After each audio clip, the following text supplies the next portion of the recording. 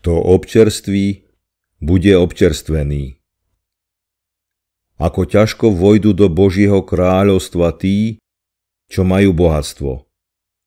Marek, 10. kapitola, 23. verš. Jeden zvedavý človek položil staršiemu pustovníkovi otázku. Prečo chudobní ľudia reagujú na cudzie nešťastie, ale bohatí nie? Pozri sa z okna, odpovedal múdry muž. Čo tam vidíš? Vidím stromy, auta, kráčajúce deti. A teraz sa pozri do zrkadla, povedal pustovník. Čo tam vidíš? Vidím seba, znela odpoveď. Okno je zo skla, aj zrkadlo je zo skla ale stačí pridať trochu striebra a vidíš už len seba. Skonštatoval pustovník. Za Ježišom prišiel istý bohatý mládenec s otázkou. Učiteľ dobrý, čo mám robiť, aby som sa stal dedičom väčšného života?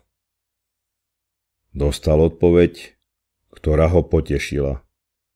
Dodržiavaj Božie prikázania. S odpovedou bol spokojný, lebo sám o sebe tvrdil, že všetky Božie príkazy zachováva. Nepriznal si však svoju závislosť k bohatstvu. Ježiš však vidí do srdca každého človeka.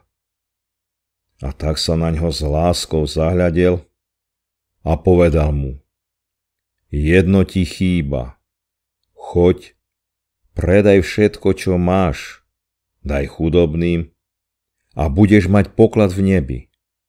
Potom príď a následuj ma.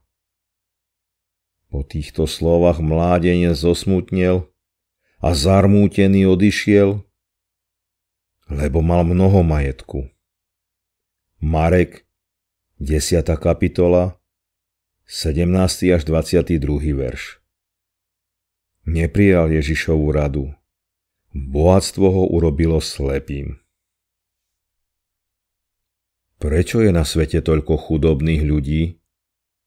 Biblia píše, veď koreňom všetkého zla je láska k peniazom. Prvý list Timotejovi, 6. kapitola, 10. verš. Láska k peniazom a k bohatstvu robí bohatých ľudí bohatšími a na druhej strane biedných biednejšími. Doba hojnosti sa pomaly končí a zas prichádzajú ťažké časy. A tak by si mal každý z nás sadnúť pred zrkadlo. Ak tam uvidíme iba seba, tak prosme Ježiša, aby nám otvoril oči aj srdce pre biedných okolo nás, aby sme sa mohli s nimi podeliť.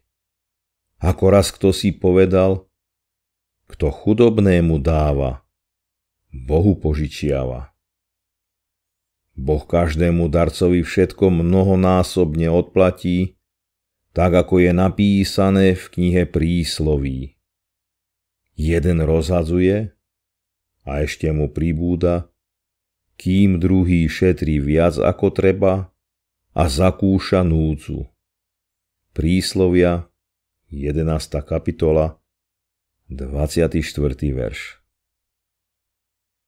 Túžiš byť štedrým človekom, no zdá sa ti, že nemáš dostatok financií? Boh vidí tvoje možnosti aj tvoju ochotu. Drahý Bože, darca života, ďakujeme Ti za dar milostivej lásky, ktorá nás utešuje a posilňuje. Prosíme, Daj nám ducha štedrosti, aby sme svoje dlane otvorili núdznym a s radosťou sa podelili s tými, ktorí nutne potrebujú pomoc. O to ťa prosíme, Otec, v mene Ježiša Krista. Amen.